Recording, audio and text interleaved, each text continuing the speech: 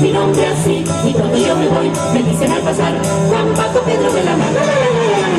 Demostraron que son guerreros, valientes y pequeños esforzados. Entendieron que todo es posible cuando se deja en manos del Creador.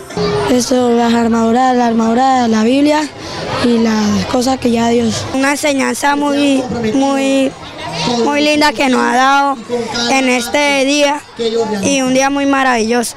Pues me sentí muy bien y es bueno que todos los niños participen y más los niños pequeños para que ellos se vayan guiando más a las cosas de Dios y de Jesucristo.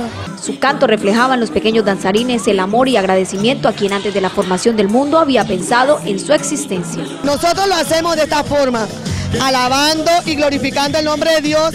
Son las alabanzas que nosotros aprendemos durante todo el año y seleccionamos las que más se pegan, las más bonitas y las presentamos a la comunidad. Con alabanza a Dios, los niños del Liceo Jesús de Nazaret llenaron corazones de padres que atentamente observaban la alegría en los rostros de sus hijos. La comunidad ha sido muy receptiva porque de hecho los asistentes no solamente son padres de familia, han traído sus amigos porque esa fue la, la, invitación, para que vean que Liceo Jesús de Nazaret no solamente se enfoca en lo académico, sino que vamos más allá, tratando de recalcar en las familias o en los estudiantes esos principios que no es que se hayan perdido, pero sí han tomado otras cosas el lugar, entonces queremos enfocarlo todos los días, el respeto, el amor propio, el amor por el prójimo y esa es la tarea que día a día hacemos en el Liceo Jesús de Nazaret. Con la inocencia de la primera edad se demostró un total agradecimiento a Dios y a través de la alabanza los niños del Liceo Jesús de Nazaret entregaron ternura y amor al cielo.